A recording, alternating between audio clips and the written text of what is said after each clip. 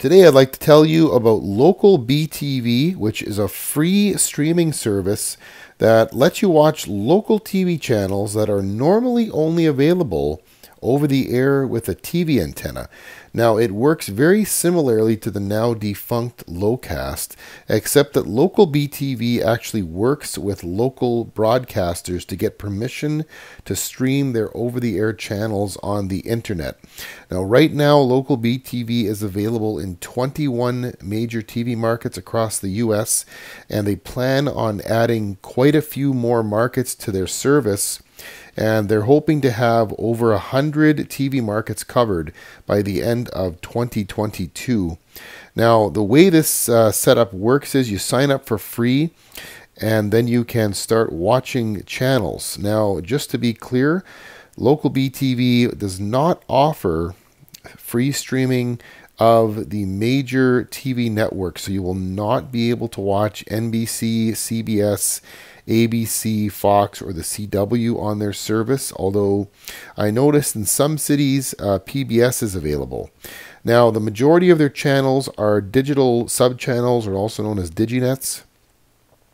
There are a lot of popular stations like Decades, MeTV, Antenna TV, Buzzr, Cozi, Rewind TV, Laff, Get TV, Defy, but the lineup does vary by city.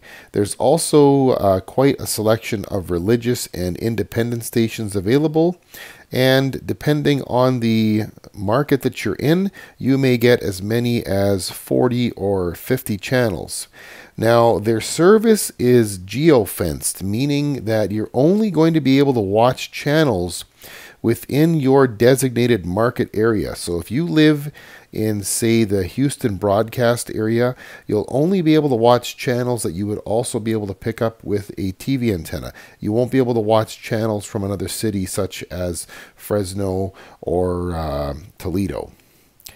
Now, it works a lot like a uh, typical TV setup. There's an electronic program guide that you can scan through, and also you have the ability to record programs on a cloud DVR setup.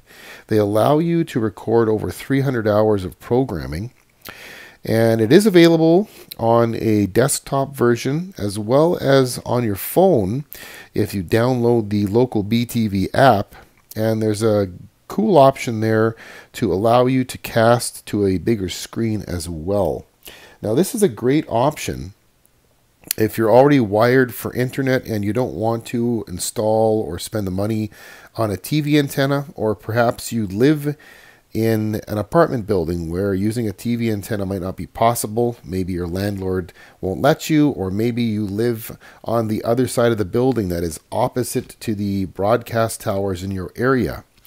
Local BTV is also a great option for picking up some of the lower power TV stations in your area that can often be difficult to receive with an over the air TV antenna. And local BTV also offers their service on a variety of platforms uh, Roku, Apple TV, Fire TV, and Android. And if you're interested in more information about local BTV, you can check the description of this video. It's another great free TV option out there for uh, people instead of migrating over to a paid cable service.